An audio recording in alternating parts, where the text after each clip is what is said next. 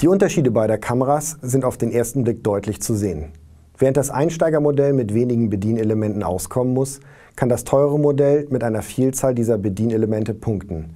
Der Vorteil ist, dass die Funktionen schneller erreicht werden können, ohne dabei auf das Hauptmenü der Kamera zurückzugreifen. Die Größenunterschiede sind allerdings im Inneren zu finden. So sind die Verschlüsse der Kameras für mehr Aufnahmen ausgelegt.